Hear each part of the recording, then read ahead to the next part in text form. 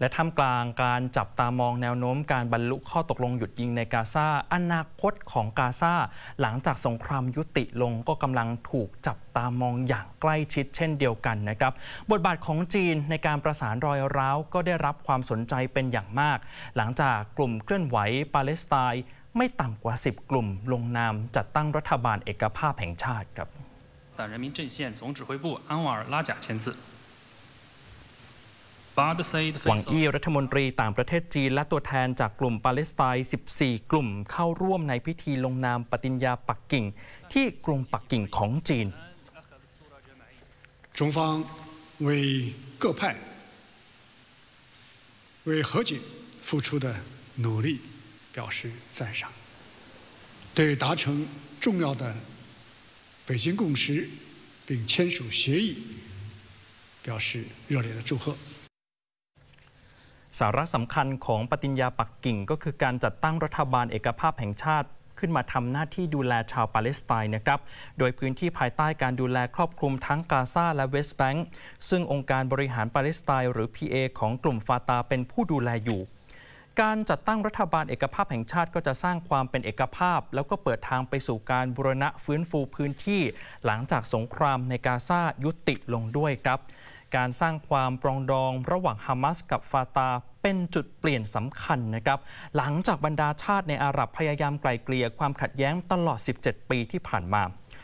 ความขัดแย้งระหว่างฮามาสกับฟาตาเปิดฉากขึ้นเมื่อปี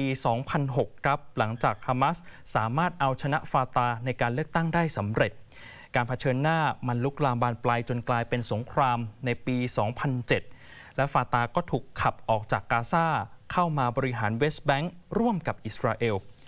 ขณะที่สงครามในกาซาตลอด 9 เดือนที่ผ่านมาก็เป็นอีกหนึ่งปัจจัยสำคัญที่ผลักดันให้กลุ่มต่างๆ ในปาเลสไตน์หันมาจับมือผนึกกำลังกันมากขึ้นด้วยนะครับ เพราะตอนนี้ชาวปาเลสไตน์เสียชีวิตไปแล้วไม่ต่ำกว่า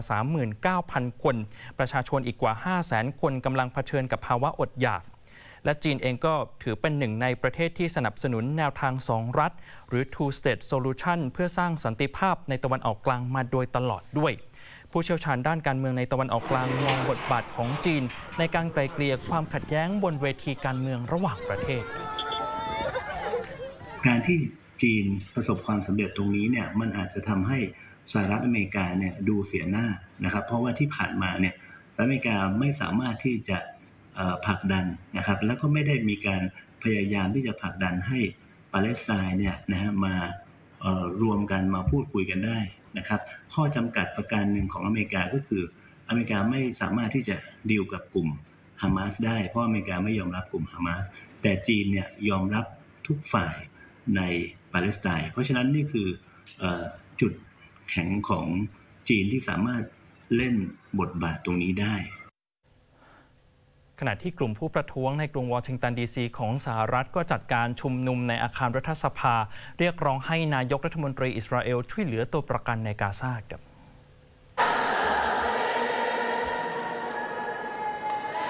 กลุ่มคนเชื้อสายยิวที่สนับสนุนปาเลสไตน์แสดงพลังต่อต้านสงคราม และเรียกร้องให้รัฐบาลสหรัฐ ห้ามซื้อขายอาวุธกับอิสราเอลนะครับ ขณะที่ครอบครัวของตัวประกันรวมตัวกัน ด้านนอกอาคารรัฐสภา เรียกร้องให้นายกรัฐมนตรีอิสราเอลยอมทำตามข้อตกลงหยุดยิง โดยนายกรัฐมนตรีอิสราเอลจะเดินทางเยือนสหรัฐในวันนี้ตามเวลาท้องถิ่น และมีกำหนดจะขึ้นกล่าวสุนทรพจน์ที่สภาคองเกรส นอกจากนี้ผู้นำอิสราเอลจะหารือกับผู้นำสหรัฐที่ทำเนียบขาวในวันถัดไป เกี่ยวกับการบรรลุข้อตกลงหยุดยิง และความขัดแย้งในระดับภูมิภาค โดยเฉพาะความขัดแย้งกับอิหร่านด้วยครับ